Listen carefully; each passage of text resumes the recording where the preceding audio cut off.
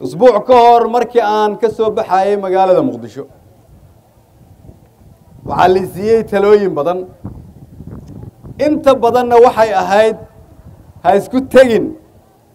Gelmudug waad ku soo fashilmaysaa.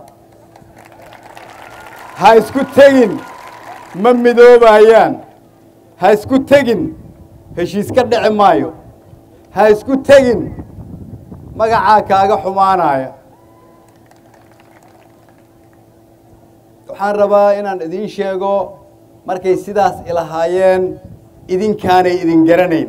Reer gelmudug waxa ay ka samaysan yihiin ay garanayn. Inaad khalad u sababta ay iigula talinayeen ha isku tegin waxay ahayd reer gelmudug baanay aqoonin. Geesiyaashii ay yihiin aanay garanayn.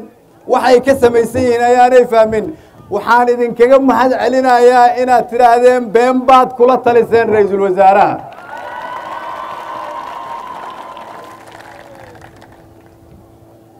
ugu dambayntii waxaan leeyahay waxaa mahad mudan dhammaan shacabka reer galmudug gaar ahaan dadka qaybta ka ah dowlad goboleedka galmudug gaar ahaan kuwa igala shaqeeyey inaan meeshan soo gaarno oo berri noo suurto geliyey shaqo cusub inaan bilowno.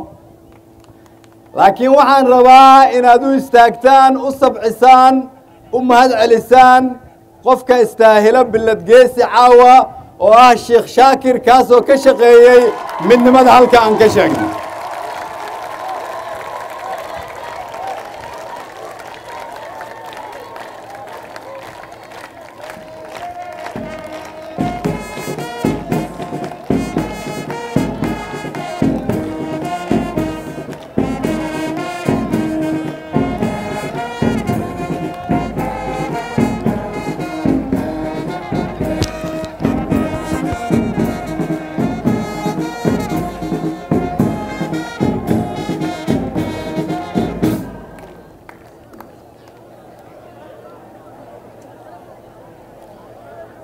waxaan rabaa halkan inaan fariin uga diro.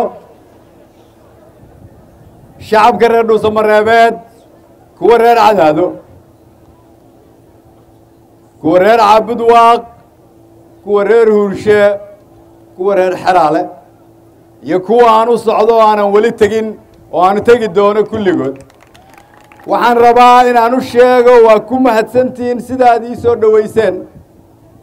Dadaalkii aad ka shaqayseen midnimadii ee uu dhalay waa idinka faa'iidadeedii caawa halkan uga jeedo.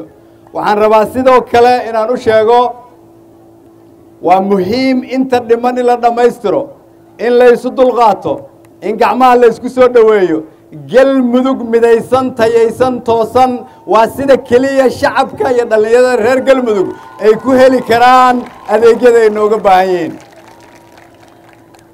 Ugu dambayntii waxaan leeyahay dadka soomaaliyeed oo dhan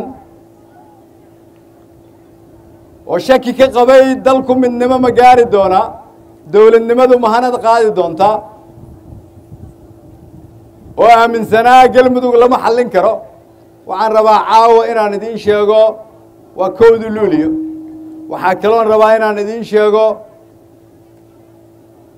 soomaaliya mustaqbalkii iyo maalmihii ugu fiicnaa way naga horeeyaan wasalaamu calaykum waraxmat ullahi wabarakaatu